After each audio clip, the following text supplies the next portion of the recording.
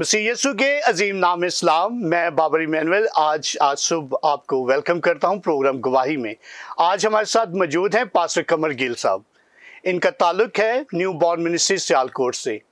ये आज हमारे साथ मौजूद हैं और अपनी पर्सनल टेस्टमनीज को हमारे साथ शेयर करेंगे। अभी वक्त है कि हम उनसे मुलाकात करें। भाई साहब, मैं वेलकम करता हूँ अपने स्टूडियो में। मुझे बहुत खुशी है कि आज आप हमारे साथ मौजूद हैं और काफ़ी दूर का सफ़र करके हमारे पास आए हैं। जी thank you so much Masih Yesu में आपकी भी सलामती हो। खुदा आपको बड़ी बरकत दे और मैं बेहद शुक्रगुजार हूँ आपका भी और नेशनल न्यूज़ का और इसके सारे अमले का भी जो बड़े अच्छे तरीके के साथ खुदावंद की खिदमत कर रहे हैं और जगह ब जगह खुदावंद की आवाज़ को पहुँचा रहे हैं।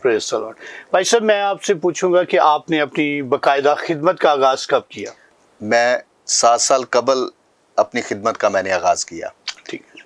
उससे पहले मैं यूएई में था दुबई में। जब मुझे खुदावंद की तरफ़ से बुलाहट हुई तो फिर मैंने सारा कुछ छोड़ के क्योंकि मेरे वालद साहब खिदमत में थे और बड़ी जो मज़े की बात है कि मैं अपने भाइयों में से एक ऐसा भाई था कि जब घर में कलाम की बातें होती थी कलाम शेयर किया जाता था दुआ होती थी तो मैं दुआ से भाग जाता था हम्म। और जब खुदावन ने चुना तो अब देखे मैं खुदा के लिए खुदा के कलाम के लिए और दुआ के लिए जगह ब जगह जा रहा हूँ। प्रेस लॉर्ड भाई साहब कोई ऐसी अपनी खादमाना सफ़र में कोई ऐसी गवाही जो हमारे नाजरीन के लिए उनके ईमान की तरक्की का बायस हो? जी ये एक वैसे तो अगर गवाहियाँ लेनी है तो इतनी ज़्यादा है कि टाइम बहुत कम है। और मेरी गवाहियाँ कभी ख़त्म नहीं होंगी क्योंकि हर रोज़ मैं अपनी ज़िंदगी में बेहद गवाहियाँ खुदामद की रिसीव करता हूँ। अपनी ज़िंदगी के अंदर मौजात को रिसीव करता हूँ। खुदामद के अजायब को देखता हूँ। और हाल ही में मुझे मोहरों का मसला हो गया था। मोहरों की दर्द मेरी डिस्क हिल गई थी। बैकबोन बैकबोन और उसके साथ मैं प्रॉपरली पैरालाइज हो गया। पैरालाइज हो गया और मैं मोहताज हो गया दूसरों का। लेकिन ब्लेसिंग ऑफ़ गॉड के जितने लोग भी आते रहे हैं अभी मुझे स्क्रीन पे भी देख रहे हैं सभी तो मेरी इयादत के लिए लोग आते थे और मैं मुस्कुरा के सबको मिलता था। और मैं सबको कहता था मैं बहुत खुश हूँ। हम्म। तो मुझे सभी ये क्वेश्चन करते थे आप क्यों खुश हो? क्योंकि मैंने कहा था कि खुशी खुदामंद की तरफ़ से गम खुदामंद की तरफ़ से दौलत खुदामंद की तरफ़ से और उतार चढ़ाव ये ज़िंदगी का हिस्सा है। लेकिन जो हमारी मोहब्बत मसीह यसु के साथ है उसमें कमी नहीं आनी चाहिए। और अगर ये थोड़ी देर के लिए वक्त आया है तो मैं इसमें भी खुश हूँ, क्योंकि ये खुदामंद की तरफ़ से है। और ब्लैसिंग ऑफ़ गॉड सात माह के बाद मैं, मेरे अंदर कुछ खामियाँ थी, गलतियाँ थी। वो मैंने खुदामन से तोबा की खुदामन से मुआफ़ी मांगी तो मैं रिकवर होना शुरू हो गया।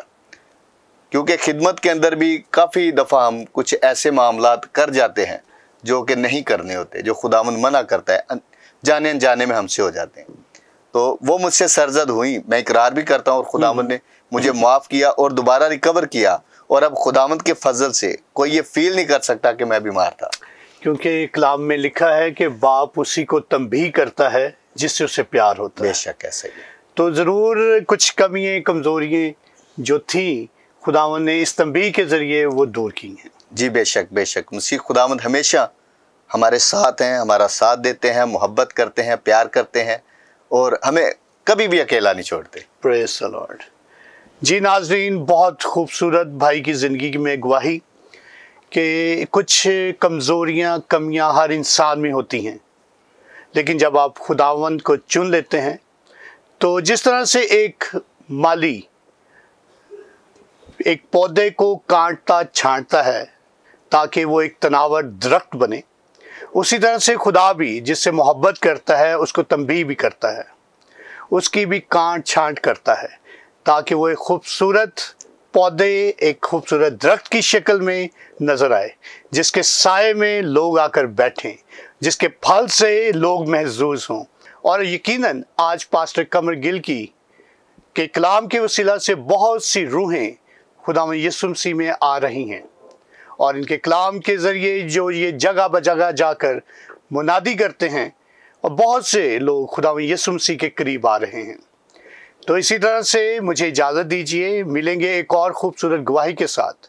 और ये मैं यकीन रखता हूँ, मैं ये ईमान रखता हूँ कि ये गवाहियाँ आपकी ज़िंदगी में ईमान की तरक्की का बायस होंगी। मैं बेहद शुक्रगुजार हूँ आपके लाइक्स का, आपके कमेंट्स का और आपकी मुस्तफ़ आरा का। इसी तरह हमारे प्रोग्राम को देखते रहा कीजिए और अपनी मुस्तफ़ आरा से हमें आगाह करते रहा कीजिए। अभी इजाज़त दीजिए, मिलेंगे एक और खूबसूरत पर्सनैलिटी के साथ।